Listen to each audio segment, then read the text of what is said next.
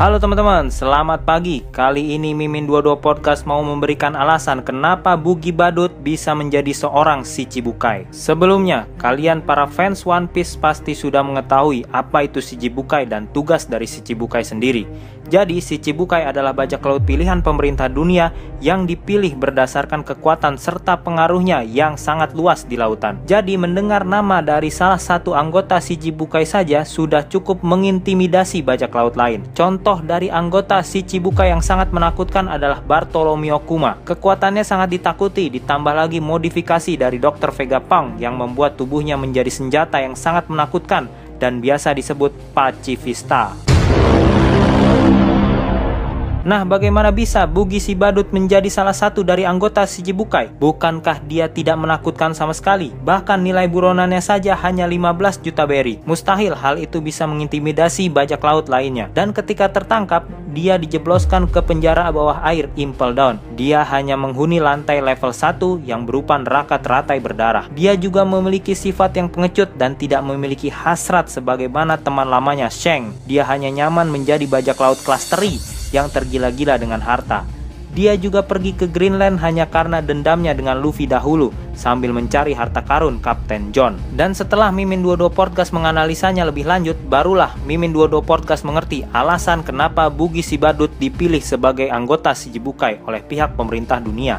Bugi memang memiliki sifat pengecut dan tidak terlalu kuat, tetapi dia memiliki daya pengaruh yang sangat kuat. Bisa dilihat bagaimana ketika perang puncak di Marineford berlangsung Entah sengaja atau tidak, Bugi memiliki karisma di mata para mantan tahanan Impel Down pada saat itu. Otomatis Bugi dipuja-puja oleh para mantan tahanan Impel Down tersebut seperti layaknya dewa. Para mantan tahanan ini jelas bukan orang-orang yang lemah seperti Bugi. Para mantan tahanan ini dulunya adalah para penghuni level 3 yang dikenal sebagai neraka kelaparan. Shirohige pun sempat mengakui para mantan tahanan yang bersamanya pada saat itu lumayan kuat. Dengan kata lain, semenjak keluar dari penjara bawah air Impel Down, Bugi mendapat anak buah yang tangguh. Selain memiliki anak buah yang tangguh, Bugi juga ternyata jeli dalam hal bisnis, terutama bisnis dunia bawah. Memang Bugi tidak terlalu berpengaruh dalam dunia bawah, tetapi ketika tumbangnya Doflamingo menyebabkan para pelanggan Dovi bingung dan bertanya-tanya kepada siapa mereka akan membeli senjata atau barang-barang ilegal lainnya. Dengan cepat, Bugi mengambil alih para konsumen dari Doflamingo. Perlahan tapi pasti, Bugi saat ini sudah menjelma menjadi bajak laut yang patut disegani.